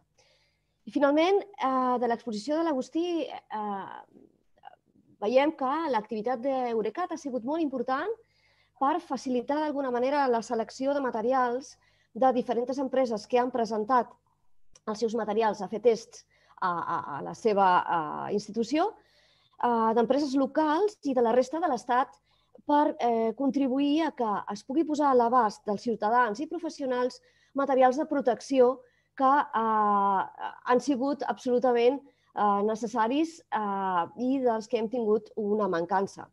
Bé, eh, espero haver resumit eh, correctament i eh, res més. Moltes gràcies a l'audiència, gràcies per les vostres preguntes, que han sigut moltes. Això ens ha fet que ens haguem passat pues, uns minuts del temps. Uh, I, uh, sense més, molt bona tarda a tothom i us esperem el 3 de juny a la propera edició del Hard Rec Café. Gràcies. Lídia, Lídia perdona un segon. Perdó. Que veig que molts ho heu preguntat al llarg de, de la sessió si us, Ah. us, us posaríem a disponibilitat la, les, les presentacions dels ponents i sí, tant la presentació de cadascun dels ponents com el vídeo de tota la sessió d'avui eh, estaran a disposició de, de, de la gent o, a, o en el web de Catalunya Bio o a través d'alguna comunicació que nosaltres farem a, a tots els que heu assistit avui aquí. Res més. Moltes gràcies i fins la propera. Gràcies. Gràcies. Moltes gràcies. Adéu, moltes gràcies.